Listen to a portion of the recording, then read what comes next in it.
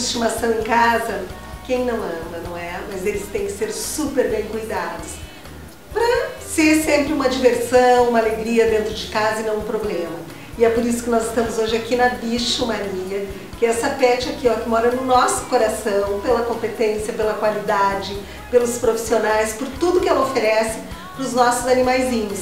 E hoje nós vamos falar de um assunto muito importante, que é a leishmaniose. É isso? Isso mesmo. Vamos traduzir, André, porque nem todo mundo sabe o que é leishmaniose, os cuidados que tem que ter e o mais importante, já existe uma vacina. É verdade. Então, a leishmaniose é uma doença que agora aqui no sul do Brasil tem chegado alguns casos e inclusive esta semana, dia 28, saiu na Zero Hora, na parte de saúde, o primeiro caso de leishmaniose em humanos. Uma menina de dois anos que veio a óbito com o diagnóstico da doença. O que, que isso tem a ver com o cachorro, né? Uh, o cão ele é um reservatório da leishmaniose e quem transmite a doença é um mosquito. Uh, é como a dengue. É como a dengue, a grosso modo assim a gente compara com a tá. dengue. Só que se o mosquito picar o cão, que for positivo para leishmaniose, e picar uma pessoa, ele transmite o parasita, né? Então uh, é importante o cão ser vacinado contra essa doença também. Muita gente confunde com a leptospirose, aí é aquela da urina do rato. É uma doença diferente. Tá? Então, a, a leishmaniose é importante que hoje já existe vacina para ela. Existe um protocolo a ser feito claro. para proteção. André, né? me diz uma coisa, e só o humano que vai a óbito ou o cão também? O cão também, em muitos casos, né? E ela é uma doença de difícil diagnóstico, tanto para uma espécie quanto para outra. Então, e não há uma cura uh, definitiva no sentido de um remédio certeiro ou uma coisa prática de resolver. Então, por a doença ser tão insidiosa e causar tantos transtornos, é importante a vacinação. Tá. E essa vacina, a gente pode dar a partir de que idade do cãozinho? Qualquer idade? Normalmente a gente tem indicado a vacina quando é uh, um protocolo já estabelecido das demais. Tá. Por quê? Porque ela é uma vacina isolada, vai proteger só contra essa doença e a gente tem no nosso meio uh, um risco muito maior de contágio para as outras. Então, um filhote a gente sempre indica a partir da polivalente, que é a tá. vacina mais comum, né? E depois, quando tudo completado, e aí vai ser por volta aí de pelo menos uns seis meses, onde ele já vai ter a da raiva, que é muito importante também, essencial. Aí, a partir ali dos seis meses, a gente indica fazer a da leishmania.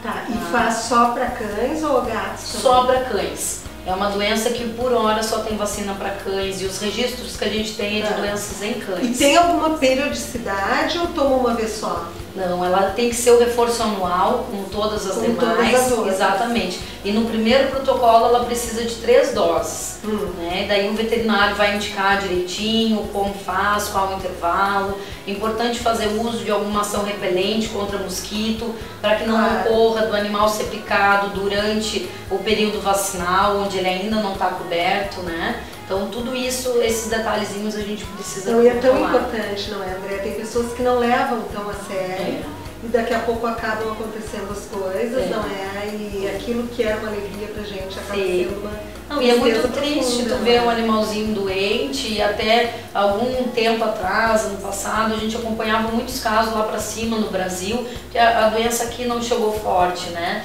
Uh, onde tinha até resoluções de que se o animal era positivo, mesmo ele estando sadio clinicamente, onde ele não demonstrava nenhum sinal, sintoma, nenhum hum. sinal clínico, ele tinha que ir para a eutanásia.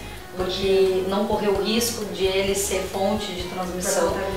Exatamente. E a gente até entende os motivos claro. que levavam à resolução, mas e, e hoje já está provado que isso não foi uma medida eficaz de controle da doença. Pois é, então nós vamos fazer uma convocação a todos os proprietários, todos os donos de cãezinhos que chequem as, Isso, as vacinas para ver se elas estão em dia, para fazer todas as vacinas direitinho e principalmente fazer essa da leishmaniose, leishmaniose não é? É só, pode ir na, na pet que você preferir, mas a, a bichomania é uma pet que está aberta 24 horas, Exatamente. não é? Com atendimento 24 horas, um espaço maravilhoso, de extrema confiança.